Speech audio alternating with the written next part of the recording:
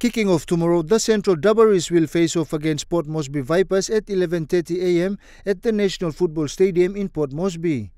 This match promises to be a thrilling contest as both teams aim to make their mark in the competition. Another exciting encounter will take place at John Amban Oval in Minj, where the Mount Hagen Eagles will go head to head with Goroka Lahanis at 12 p.m.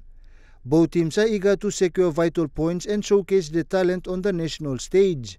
On Sunday, the action continues as the Snax Tigers battle the ENB Egma at Rugby League Ground Oval in Lae.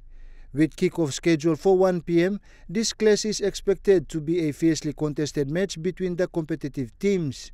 The national women's competition is a critical platform for women's rugby league development in Papua New Guinea, supported by Santos, PNGRFL, and Pacific Sports.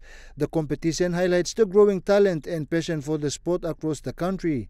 Fans can expect high quality performances from all teams as they compete for top honors in the league. Jonathan Sibona, Trukai Sports.